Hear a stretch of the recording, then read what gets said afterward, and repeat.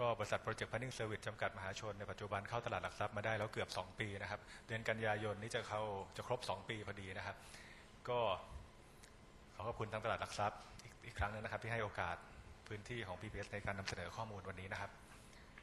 ก็เดี๋ยววันนี้ผมจะขออนุญาตนำเสนอในส่วนที่หนึ่งในส่วนของข้อมูลบริษัทนะครับ แล้วก็จะทบทวนอีกทีว่าปัจจุบันนี้เราได้ตั้งแต่เราเข้ามาเนี่ยมีการอัปเดตไปถึงไหน แล้วในส่วนของบริษัทย่อยต่างๆนะครับ แล้วเดี๋ยวคุณทัศน์ธงพักที่เป็นกรรมการผู้จัดการของบริษัท PPS นะครับ จะมานำเสนอในส่วนที่ 2 ที่ 3 ที่ 4 นะครับ ครับ ก็ส่วนที่ 1 นะครับ ก็ทบทุกเมื่อกี้ในวิดีโอก็จะดูไปแล้วนะครับ บริษัท Project Planning Service จำกัดมหาชนนะครับ เป็นบริษัทที่อยู่ในธุรกิจก่อสร้างนะครับ แต่ว่าเราไม่ใช่ผู้รับเหมานะครับ เราเป็นธุรกิจที่ให้บริการทางด้านมันสมองเป็นหลักนะครับ ก็จะมี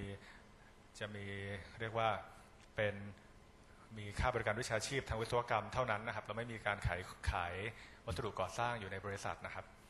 แล้วก็วิสัยทัศน์ก็คือมุ่งสู่ความเป็นวิชาชีพทางด้านวิศวกรรมในทุกแขนงนะครับ แล้วก็เป็นองค์กรแห่งการเรียนรู้ แล้วก็แบ่งปันความรู้สู่สังคมนะครับ แล้วก็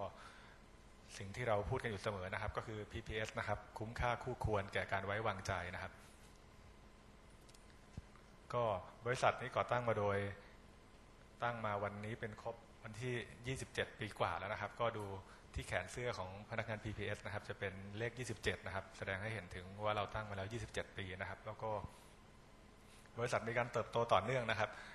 ตลอดเวลา 27 ปีจนถึงทุกวันนี้จริง ๆ แล้วบริษัท PPS เนี่ยไม่เคยขาดทุนเลยนะครับ เรากำไรมาตลอดนะครับ ก็เกือบจะขาดทุนนะครับ แต่ก็ยังไม่เคยขาดทุนนะครับ เคยมีวิกฤตตอนปี 40 แต่เราก็ผ่านสามารถผ่านวิกฤตมาได้นะครับ แล้วก็จนกระทั่งปี 2012 นะครับ เมื่อเดือนกันยายน แล้วก็มีการระดมทุนในตลาดหลักทรัพย์ MAI นะครับ แล้วก็หลังจากนั้นเนี่ยพอถึงปี 2013 แล้วก็ไปร่วมทุนกับบริษัทสวอตแอนด์แมคลาเรนของสิงคโปร์นะครับ แล้วในปีเดียวกันนั้น เราก็ตั้งบริษัท แล้วก็เพิ่มทุนให้กับบิวเอเชียด้วยนะครับ ซึ่งจะเห็นในตรงนี้นะครับ ก็ถ้าพูดถึงการดำเนินงานของบริษัทแม่นะฮะ แต่คือธุรกิจเดิมที่เราทำมาเนี่ยก็จะเป็นในโครงการบริหารก่อสร้างหนึ่งหนึ่งเนี่ยก็จะประกอบด้วยเจ้าของโครงการนะครับ เสร็จแล้วเจ้าของโครงการเนี่ยก็จะมีการไปจ้างบริษัท PPS นะครับหรือว่ากลุ่มผู้ออกแบบนะครับ เพื่อที่จะช่วยออกแบบ แล้วก็เป็นคนที่จะคิดราคางานก่อสร้างคิดเรื่อง feasibility นะครับ แล้วก็หลังจากนั้นก็คัดเลือกผู้รับเหมานะครับ เมื่อเราจัดเสร็จแล้วเนี่ยทาง PPS นะครับกับผู้ออกแบบเนี่ยก็จะไปคัดเลือกผู้รับเหมานะครับ แล้วก็เมื่อก่อสร้างอาคารเสร็จแล้วเนี่ย หลังจากนั้นก็ส่งมอบอาคารให้กับเจ้าของ แล้วก็ถ้าเจ้าของมีการบริหารบำรุงรักษาโครงการต่อไปเนี่ยก็จะมีบุคคลที่เกี่ยวข้องอีกส่วนนึงก็คือในส่วนของผู้บริหารอาคารนะครับครับก็จะเห็นเป็นประมาณนี้ในตัวอย่างนะครับ คือถ้าเป็นกลุ่มเจ้าของโครงการเนี่ยก็ยกตัวอย่างเช่น กลุ่ม CPN นะครับกลุ่ม Tesco นะครับแล้วก็ถ้าเป็นกลุ่มบริหารโครงการเนี่ยก็คือ PPS นะครับถ้าเป็นผู้ออกแบบเนี่ยก็ยกตัวอย่างเช่น ทางบริษัท PPS Design นะครับบริษัทในเครือ หรือว่าเป็นบริษัท Swan and McLaren นนะครับประเทศไทย ซึ่งเป็นบริษัททางด้านสถาปนิกนะครับ แล้วก็หลังจากนั้นก็จะมีกลุ่มผู้ดำเนินงานก่อสร้างเช่นชอการช่างนะครับ หรือว่านวรัตหรืออิตาเลียนไทยนะครับที่เราได้ดำเนินกิจการร่วมกับเขามานะครับ ก็ส่วนงานลักษณะลูกค้านะครับที่จ้างเราก็จะมีเรื่องของงานก่อสร้างอาคารนะครับ งานก่อสร้างด้านทางสาธารณูปโภคนะครับ เช่นทางด่วนนะครับรถไฟใต้ดินนะครับ หรือว่าสถาสนามบินนะครับ แล้วก็โครงการที่ต้องใช้ความชำนาญอื่นๆนะครับ เช่นงานบำรุงรักษาโครงสร้างทางด่วนขั้นที่2นะครับ ก็อันนี้ใช้ PPS มา 11 ปีแล้วนะครับ ก็รูปนี้ก็ต้องการจะแสดงให้เห็นว่าในโครงการก่อสร้างเนี่ย คือทางเจ้าของงานเนี่ยมักจะคิดว่าทางท่านเองเนี่ยสามารถทำงานได้ดี โดยที่ไม่จำเป็นจะต้อง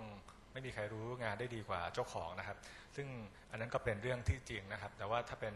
ในส่วนของงานก่อสร้างเนี่ยจริง ๆ แล้วควรก็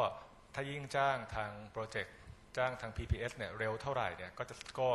คาดว่าจะสามารถลดราคา แล้วก็ทำให้งานอยู่ในสเกจดูได้เร็วขึ้นเท่านั้นนะครับ ก็เราก็อยากจะให้ทางเจ้าของงานมาจ้างเราให้เร็วที่สุดนะครับ ก็ปัจจุบันนะครับทุนจดทะเบียนบริษัท Project Planning นะครับ PPS มีทุนจดทะเบียนอยู่ 100 ล้านบาทนะครับ ก็มีบริษัทลูกและบริษัทในเครืออยู่ทั้งสิ้นเท่าที่เห็นในรูปนะครับ ก็คือบริษัท PPS Design นะครับเป็น ทำด้านออกแบบทางด้านวิศวกรรมนะครับ แล้วก็บริษัท PPS Information Consultant หรือ PIC นะครับ ถือหุ้นโดย PPS อยู่ 90%บริษัทนี้เป็นบริษัทที่ทำงานด้านมีเดียโปรดักชันนะครับ คือถ้าเกิดเห็นงานที่เป็นงานวิดีโอ หรือเป็นงานคอมพิวเตอร์ programming ของ PPS ทั้งหมดเนี่ยจะถูกทำโดยบริษัท PIC นะครับแล้วก็บริษัทสวอตแอนด์แมคคาเรนแห่งประเทศไทยนะครับ ก็ PPS ถือหุ้นอยู่ 35%นะครับ แล้วก็อีก ส่วนที่เหลือนะครับ จริงๆ แล้วเป็นของบริษัทสวอตแอนด์แมคคาเรนประเทศสิงคโปร์นะครับ ซึ่งบริษัทนี้ทุนจดทะเบียนทั้งสิ้น 7 ล้านบาทนะครับ แล้วก็มีกิจการร่วมค้า PPQ นะครับ ซึ่งอันนี้เป็นกิจการที่เป็นเฉพาะกิจนะครับ ใช้สำหรับทำงานศาลฎีกานะครับ ซึ่งเมื่อเสร็จงานศาลฎีกาเนี่ยกิจการร่วมค้า PPQ ก็จะสลายตัวไปนะครับ แล้วก็มีบริษัทบิลเอเชียซึ่งปัจจุบันเนี่ย PPS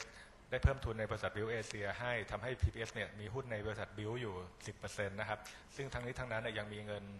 กู้อีกนะครับ ซึ่งสามารถแปลง convertible มาเป็นสัดส่วนมาเป็นสัดส่วนการถือหุ้นในบิลได้อีกนะครับ ซึ่งค่าซึ่ง maximum ตามสัญญาที่ตกลงกันไว้คือ 25%ครับก็อันนี้เป็นประมาณนี้นะครับ ก็ตอนนี้ PPS ก็มีอย่างที่บอกคือเราเป็นคุ้มค่าคู่ควรกับการไว้วางใจ แล้วก็เลยมีโครงการทาง CSR นะครับ ซึ่งปัจจุบันเนี่ยเราได้ทุนจากตลาดหลักทรัพย์นะครับ ที่ให้มาช่วยเหลือบริษัท PPS เนี่ยในการ ทำงานด้าน CSR นะครับ ซึ่งบริษัทตลาดหลักทรัพย์ MAI เนี่ยมีบริษัท 5 บริษัทที่ได้นะครับ เท่านั้นนะครับจากบริษัททั้งหมดนะครับ แล้วก็เรามีโครงการเรียกว่าโครงการวิศวกรสีขาวนะครับ โครงการวิศวกรที่ดีนะครับ ก็เดี๋ยวจะให้ดูวิดีโอ teaser ของโครงการนี้นิดหน่อยนะครับ แล้วก็ปัจจุบัน PPS ก็ประกวดพยายามจะประกวดรายการ SET CSR Award อยู่นะครับนะครับ แล้วก็ ของบิลเนี่ยก็เพิ่มเราเพิ่มทุนให้บิลไปนะครับ ก็อย่างที่บอกปัจจุบันก็มีแอปพลิเคชันใช้งานได้แล้วนะครับเวอร์ชันหนึ่งแล้วก็ปัจจุบันนี้เรากำลังไปทำ Android เป็นเวอร์ชัน2นะครับเวอร์ชันเวอร์ชันที่เป็น Android กับเป็นเวอร์ชัน web application นะครับ เพราะว่าไม่อย่างนั้นคือถ้าไม่มี iPhone ก็จะไม่สามารถใช้ได้นะครับ อันนี้ก็เป็นโครงการวิศวกรที่ดีนะครับ ก็ก็ช่วยไปกด like fanpage นะครับแฟนเพจวิศวกรที่ดีนะครับ โครงการวิศวกรสีขาวนะครับเดี๋ยวผมขออนุญาต กดให้ดูนิดนึงนะสั้นๆนะครับก็ PPS สนับสนุนวิศวกรที่ดีนะครับ แล้วก็โครงการนี้ก็หวังว่าเราจะไปออก เราสามารถจะนำมันไปสู่ช่องทีวีได้ก็ผมคิดว่าวิศวกรที่ดีควรจะมีจริยธรรมนะฮะต้องมีความรอบคอบ สิ่งที่เราต้องการก็คือเราได้วิชาความรู้มาเพื่อสร้างสรรค์สังคม วิศวกรผมหลับตาปุ๊บผมจะเห็นความเป๊ะของเขา วิศวกรที่เก่งไม่ได้แปลว่าจะต้องเป็นวิศวกรที่ดีเสมอไป วิศวกรที่ดีคืออะไร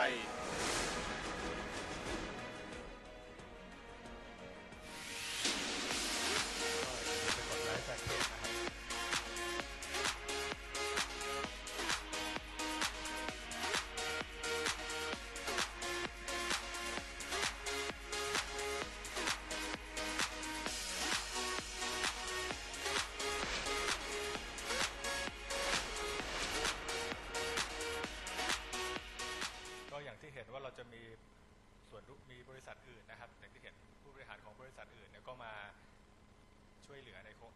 รงการของเราเหมือนกันนะครับ ให้มันเกิดเป็นความร่วมมือของในกลุ่มตลาดกลุ่มอุตสาหกรรมนะครับ ก็แล้วก็เดี๋ยววันนี้นะครับ น้องเขาเอาเสื้อวิศวกรที่ดีมาแจกด้วยก็อยากจะแจกให้นักลงทุนเท่านั้นนะครับ นักข่าวก็ค่อยเอานะครับ ก็เดี๋ยวขออนุญาตคุณขอเรียนเชิญคุณทัศน์ต่อเลยครับ ครับอขอบคุณครับ ในส่วนของผมก็จะเป็นส่วนที่2นะครับเรื่องของสรุปผลการดำเนินงานในquarter ที่2ของปี 57 แล้วก็เป็น ปี57ทั้งที่ผ่านมานะครับเรามีรายได้จากการบริการเนี่ยนะครับถ้านับ 6 เดือนเนี่ยก็เพิ่มขึ้นจาก 134.21 ล้านเป็น 138.92 ล้านนะครับแต่ว่าถ้ามองที่งวด 3 เดือนเนี่ยนะครับใน quarter 2ปี 13เนี่ยเราได้รายได้ 71.19 ขณะที่ใน quarter 2ปี 14 นั้นลดลงนะครับเป็น 66.12 นะครับ เนื้อหาของมันก็ก็ยังเป็นแนวโน้มของเรื่องของใน quarter 2หรือว่า quarter 1ที่เอ่เป็นเรื่องของความไม่แน่นอนของสถานการณ์นะฮะทางการเมืองของประเทศไทยความไม่สงบนะครับ แต่ตอนนี้เนี่ยทุกอย่างก็เริ่มนิ่งนะครับ วันนี้เราก็ได้จะมีนายกรัฐมนตรีคนใหม่นะครับ คิดว่า outlook ก็น่าจะดีขึ้นนะครับ สัดส่วนรายได้นะครับ